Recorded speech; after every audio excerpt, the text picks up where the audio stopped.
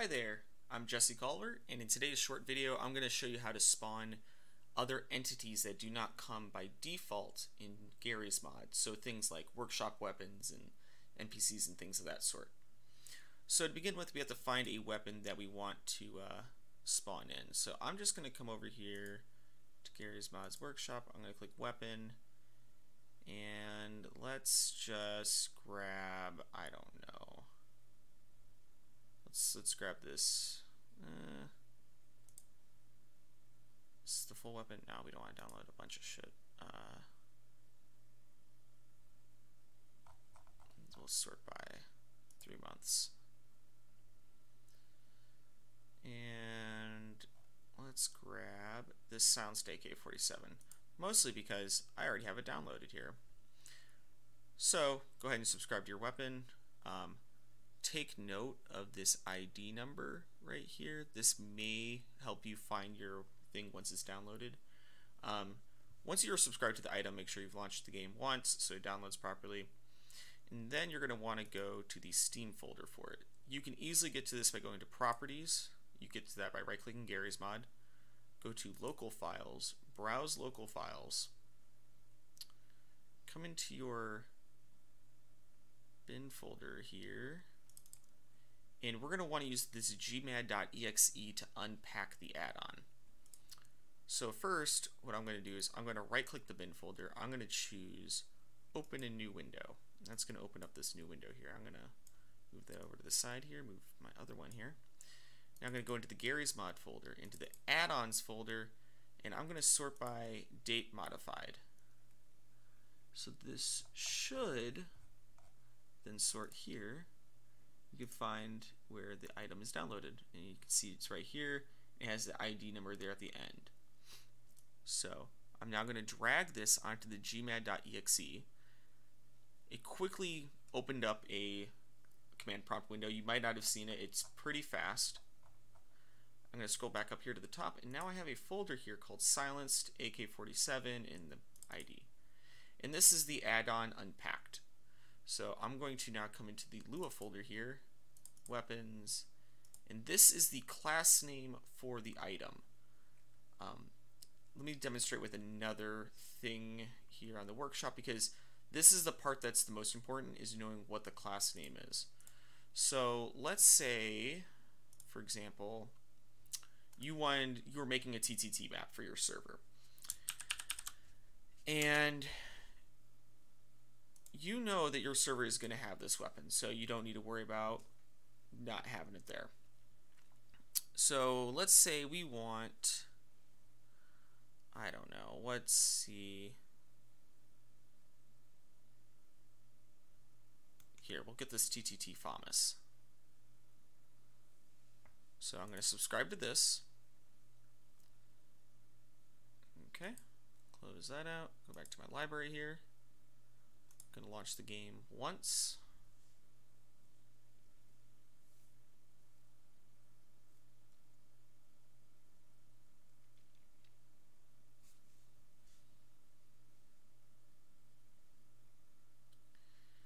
Alright, and everything's downloaded now.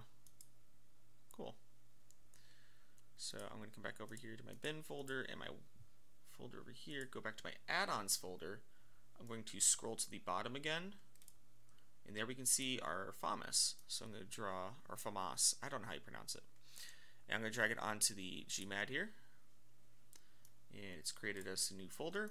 I'm going to go into here and see we can find under here there's this like it's no longer under the Lua folder. That's because for TTT it always ends up under the game modes um, folders. So I'm going to go to the game modes, Terror Town, Entities, Weapons, and this is the class name for the weapon. So I am going to right click rename, I'm going to copy that. Then over here in Hammer, I'm going to launch Hammer, file, and I already have a quick little demo map I've created here. And what you need to do is just place any entity. So I'm going to use this little info player start uh, I'm going to open up the properties window for it. Um, you use the hotkey Alt Enter. And where it says class, I now want to paste in my new class name there and press enter and then press apply. and it's going to turn to the obsolete icon. And normally, when you get this, that means you've um, you've screwed up and created something that doesn't exist. Uh, we'll get more into that in a few minutes, but for this example, I'm going to save this, move it up a bit more there. I'm going to press F9. I don't want to launch the game. I'm going to click Go. And it's done. So now I'm going to come over here manually launch the game. And the reason I don't launch the game um, from Hammer is it sometimes doesn't work properly. It doesn't mount things in the right order. Um, I've had instances where the stuff hasn't been mounted before the map actually loads. No idea why that is. Um, so I'm going to click Start New Game. I'm going to have my... Oh, well first I suppose I need to change game mode. Let's change game mode to Trouble in Terrorist Town. Yeah. Gonna start new game. Hopefully I picked the right one. Do four players, local server. Uh, yeah. Let's see. Prevent winning. There's minimum players. Ah, whatever. See if this works. It's been a while since I've started a TTT map from the start menu. Usually do it on my server.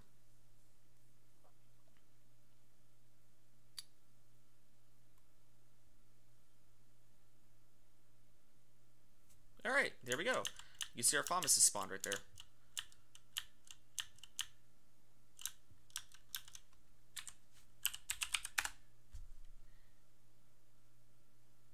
And that'll work for any um, properly named entities here that have a class name. So if I go back up here and go to silenced AK-47, this one is for just sandbox mode, so I'm going to copy this class name, come back over here, open this up. I'm going to change that name to that, click apply, save it, and I'm going to compile. And it's done Come back over here, launch Garry's Mod again.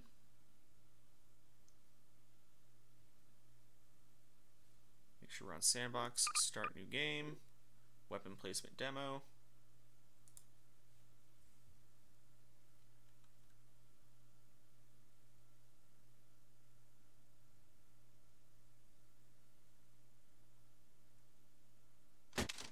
And there's our Sound Snake A47.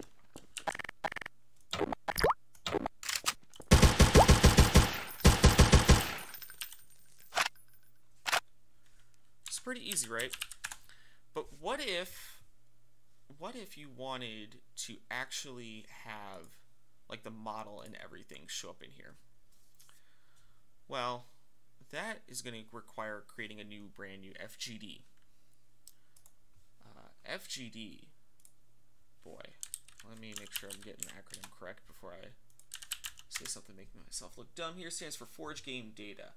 Um, you can find all that information here on the Valve Developer Community Wiki. Great place to go. Uh, always make sure you check here before asking questions because half the time it's already been answered. So, let us create a brand new FGD. I believe the FGDs by default, yep, are right here in the Garry's Mod folder. So I'm going to start, I am going to do this. I'm going to create new text document. I'm going to call it my entities .fgd. Yes. Now I'm going to open it with a brand new window of VS Code here. Uh, go ahead new window. Drag that over. And I'm going to move over the Half-Life 2 one as well so that we can look at it. Copy some stuff over. So what an FGD really does is it's sort of like the English to Spanish translation guide kind of thing. You know, like you're visiting like another country and you want to like communicate with people there. So you pick up like a copy of like English to Spanish or German or French. And that's kind of what Hammer does. Hammer uses the FGD to translate basically what it is you want into what the engine expects. So, as an example, I'm going to quickly look for weapon 357, uh, no, AR2. Let's do AR2. And we're going to find right here. So I'm going to copy this. And I'm going to come over here, paste it in, change this to be the name of our silenced AK-47 here. So this line right here where it says equals, this is the class name. This is like the nice display name. So I'm going to call it silenced AK-47. And there's all sorts of other parameters you can add here, of course, uh, depending on the entity. You can add flags, you can add things like that. But like this is a basic point entity that is using the base weapon here. And if you come over here, you can see this is the base class here for weapon. So by default, this is in the FGD, it's telling it it's going to have these flags, these outputs, and these uh, key values. Now then, just because you add it to the FGD doesn't make it exist. I could come in here and say I want like mega rocket launcher. And that and I don't have that entity mounted. That it doesn't exist. The engine's not going to know what that is. Uh, when I run the map it's going to say in the console like unknown entity attempted to be created uh, failed at these points blah blah blah. So always keep in mind the FGD is not magic. It cannot create entities for you. It is simply a translation guide. So this is the model to display and we want to know what our model is. So come back over here. Our model name is going to be models, weapons, and then the weapon name is this .mdl here. And for weapons, usually they're going to start with W for world model, C for like the C hand models. You might also get V for view model. Um, but I'm going to just come in here, place that name with that one. And I'm going to save that. And make sure, I don't think I have to include anything at the top. Sometimes you need to do the include base uh, FGD, but we're already going to be including it anyway, so we don't actually have to do that. I'm going to come back over here to the bin folder. I'm going to open up Hammer. I'm going to go to Tools, Options, and right here you see Game Data Files. I'm going to click Add. Right now we just have the Garry's Mod FGD added. I'm going to go ahead and add my entities and click OK. And then I'm going to open up this again. I'm going to come in here and you can see this is an error model now because it doesn't understand what model I was talking about. So let's make that model show up for us. I'm going to come over here to, well, let's close this first. Uh, no. I'm going to come over here to Garry's Mod, go to Garry's Mod, to go to CFG, and we're going to open up mount.cfg. So what mount.cfg here does is it lists things to mount, as the name implies. So as an example here, you can see I wrote one for a left shark model I was demonstrating for someone earlier. I'm going to do silenced AK-47 now. And this needs to be the file path to the folder. So I'm going to come over here, copy that file path, and I'm just going to come in here and paste it in. And then uncomment it. Save it.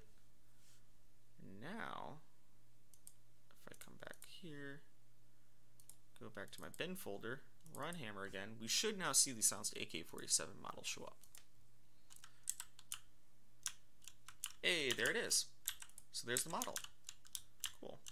So now we can like better place that. So if I wanted to physics, apply world model, let's say table. We want a table. Sure. We'll use that one. That could be, is that static? That is static. Okay. That's fine. Go.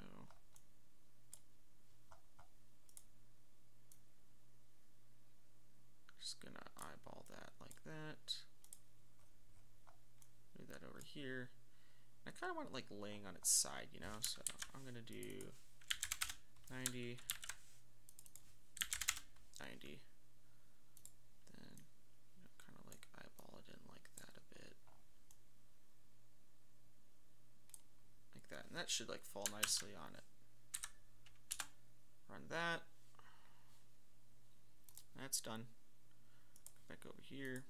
Hit play.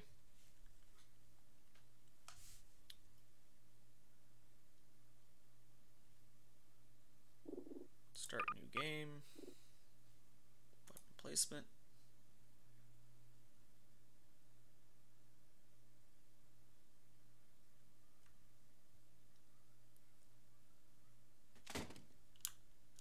Oh, our model flew over here.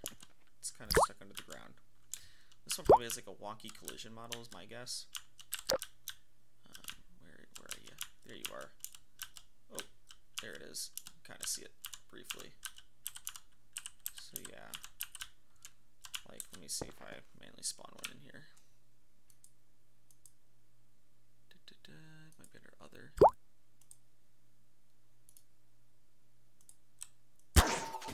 Yeah, it's got it's got a bad collision model. In fact, come in here and hammer. I double click on this. Hmm.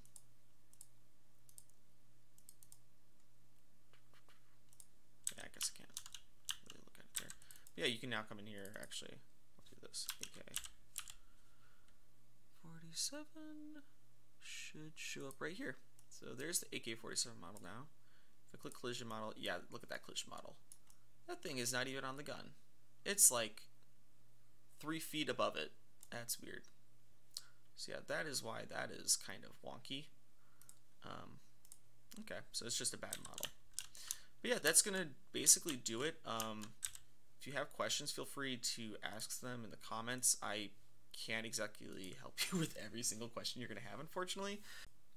Really, the best advice I can give when it comes to this kind of thing is just to play around with it and see what you can come up with. Um, of course, always reference the wiki, the documentation there.